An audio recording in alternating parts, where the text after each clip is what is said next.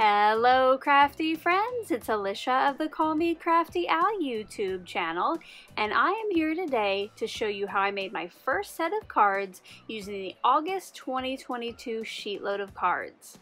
I hope you'll stick around, see how I made them, and get a few tips along the way.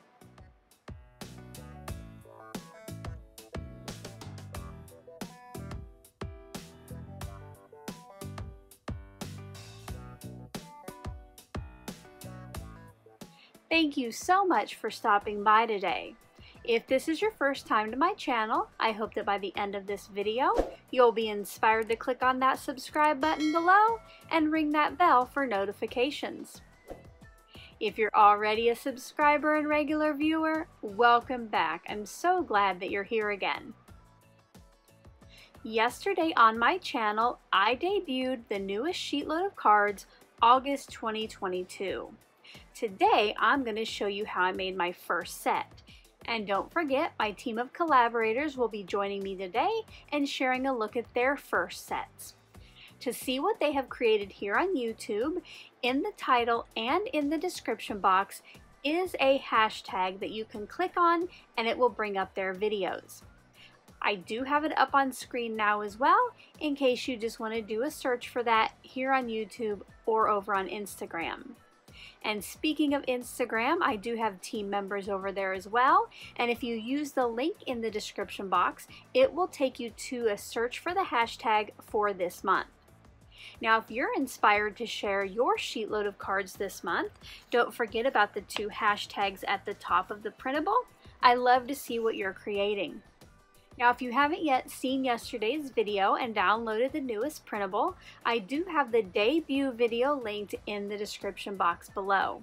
I tell you all about how to download this for free if you're a subscriber to my channel. The August 2022 sheet load is going to yield you 12 cards if you follow the supply list and the cutting guides. So this is going to be a great one to build that card stash or maybe get started on your holiday cards. In front of me are the main supplies that I'll be using for today's cards. As I use them, I will tell you more about them, and if I add anything else, I will be sure to let you know that as well. But as always, if I ever leave you with any questions, you can leave those in that comment section below, and I'll get back to you just as soon as I can. Let's get crafty! I'm to get started today by cutting my 12 by 12 papers. I chose these three pieces from Craft the Clock's Flower Fiesta line. Now when you go to cut these, I'm to cut two strips from the top that are four inches tall and then two more strips after that that are two inches tall. Because these do add up to 12 inches, you'll want to make sure not to do what I call a generous cut. You will want to make it right at that measurement or maybe even a smidge under. Once those four strips have been cut, they're going to get cut down to the final size. So those top two, I cut each piece into two pieces that are five and a quarter inches wide. For the smaller strips, I do want to make a special note that piece B gets cut to 3.625 inches wide, which is also the same as 3 and 5 eighths. That way there will be a small gap between the two pattern papers on that strip that goes across the center. To cut those first two pieces from each of the smaller strips to 3 and 5 eighths inches, you will use the mark on your cutter that is halfway between 3.5 and 3 and 3 quarters. Once those two 3 and 5 eighths inch pieces are cut, you'll cut two more from that same strip that are one and a half inches wide.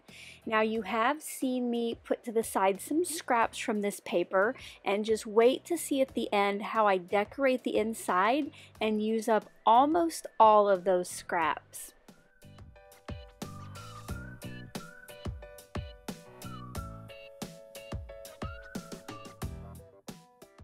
Next, I'm going to be cutting the CS1 pieces, which are 2 inches by 3 inches, but instead of using a full piece of cardstock, because this is a color I use standard, it's an off-white, I will be bringing in my little scrap bin and cutting those pieces until I have 12.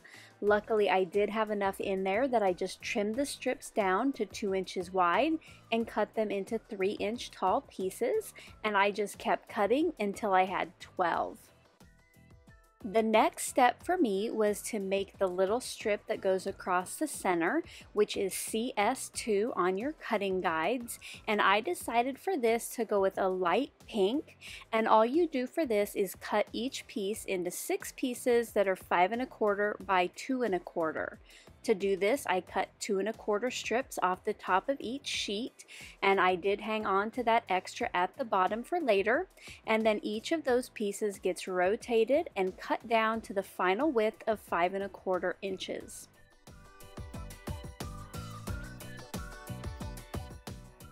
And finally, you're going to need some card bases. I know many of you already know how to do this, but just in case you're new to card making, I did want to show you what I do. I got out six pieces of kraft cardstock and I cut these in half so each piece is eight and a half inches wide by five and a half inches tall. Then you can fold it in half for your card base or if your cardstock is a little bit heavier, you might want to use a scoring tool and there you just score it at four and a quarter first and then fold down. Either way works, you just want to end up with 12 total card bases. Now it's time to mix and match those pattern paper pieces for the little card kits. I start with the blue and then for piece B I use the wood grain and for piece C I choose the one that's left over which is the floral. Now you could keep doing the same process so all four cards look the same but for me for the next one I'm going to have a blue background with the floral on the left for piece B and the wood grain on the right for piece C. For the remaining two blue backgrounds, I do one of each in the same patterns that I just showed you. I then continue with the other two backgrounds using this same process so in the end I will have two cards that look the same instead of four. But like always, you are free to make them all look the same if you would like to.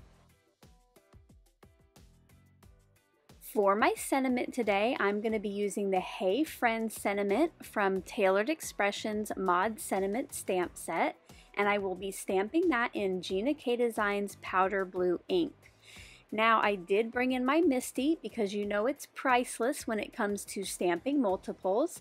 I'm going to set that sentiment up at the bottom center of my sentiment piece and then I can pick it up with the door of my MISTI, ink it up and stamp repeatedly onto each of the sheets. Now because this is a new stamp and I did want my blue a little bit darker, I did ink up and stamp each sentiment twice. While I work on the rest of that stamping, I did want to stop by with a special thank you, and that is to all of my channel members.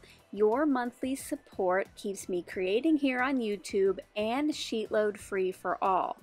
Now, if you're not yet a channel member, it does start at only $1.99 a month, and there are different levels with different perks, but the most popular one is probably the Visual Archive. And this is a file that gets updated each month, and the channel members have access to. You get a little thumbnail of each sheetload of cards, and you can just click on the direct link to download. If you would like to find out more about the perks of channel membership, I do have a link in the description box below.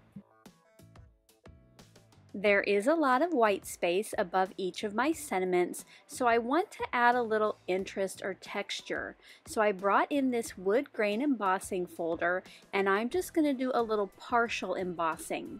So I placed my sentiment into the embossing folder, and I kind of lined up the edge with the top of my letters, and then put a piece of low-tack painter's tape on the back to hold it in place while I ran it through my die cutter. Now, the first one, I didn't like how it kind of stuck up in those thin lines. So for the next one, I did basically the same thing, but I put it face down or I reversed that embossing folder. And I liked the way this looked much better. I continued this same process until all 12 sentiments had some texture and just so you know you might have to play with your pressure and sandwich a little bit for your die cutter but I think it's worth it. Next up is putting piece B and C onto that pink cardstock strip and you will want to make note that each piece gets aligned to the outsides of that strip so there is a little gap between the two pieces in the middle. So I start by adding adhesive to the back of my wood grain piece and align that to the left of the pink strip. Then I put adhesive on the blue and align that to the right. I set this aside with the background paper that goes with it and continued matting those smaller pattern paper pieces. Now once again while I work on that I do have kind of another exciting announcement and that is that some of my channel members recently celebrated one year of membership. So I wanted to take a minute here to recognize them and just give an extra special thank you for your support over the past year.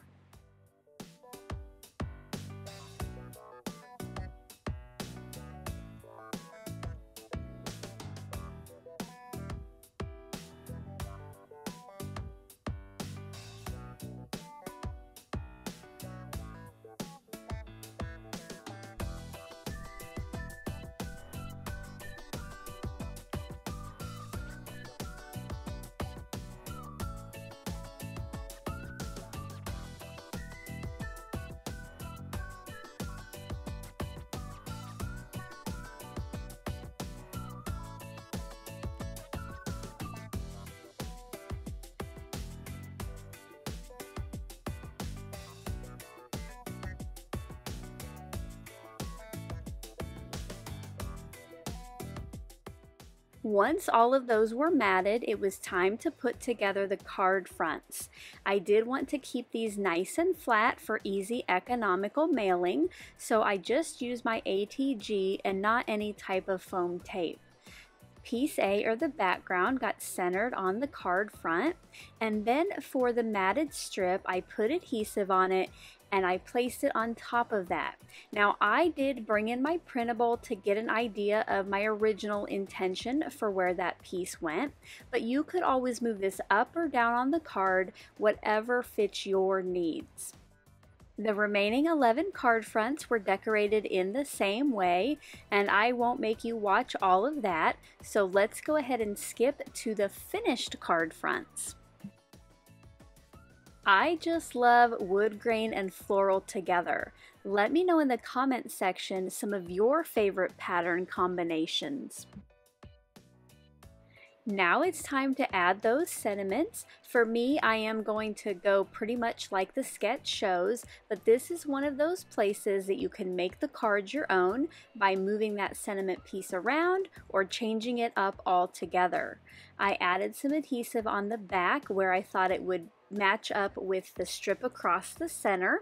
And once again, I am just using ATG to make this nice and flat. You could definitely use foam tape here if you wanted for a little added dimension. I continued adding these as always until all 12 cards had a sentiment. To finish the front of the cards, I did want to add a little sparkle, so I brought in my favorite flat embellishments, my Elizabeth Craft Designs glitter dots. Today I'll be using the ones that have the silver outline with clear glitter in the middle. I added a couple trios of the smallest ones on the sheet to two different corners on the sentiment. I did mention earlier that I decorated the inside with some of the leftover pattern paper scraps and I just wanted to show you quick how I did one of those. You'll see here I barely have anything left for the recycle bin. Off camera, I cut most of the vertical strips in half and I also cut some pieces for the inside for my sentiment that were 5 inches wide by 3 and 3 quarters inches tall. These are going to get adhered to the inside center and then I'm going to put one of those pattern paper tall strips on the left and this is actually going to get adhered so it's a little bit outside of the border. Then I'm going to take one of those flags that I punched out and adhere it aligned with that pattern paper strip but a little bit more to the right. I did this for all 12 of the cards and here are some close-up looks at the finished set.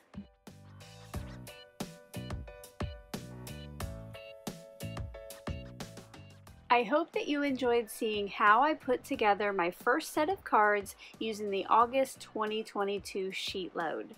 If you did, as always, a thumbs up is appreciated. Don't forget to go visit all of the collaborators by either clicking on the hashtag in the title to see the YouTube videos or check out that link in the description box to head on over to Instagram. Until my next video, I hope you're all having a crafty day. Bye-bye. Thank you so much for taking the time to watch all the way to the end of the video. I hope now you'll consider clicking on one of the videos or playlists I have linked above, and if you're interested in any of the products or tools I used in today's video, I do have some links in the description box.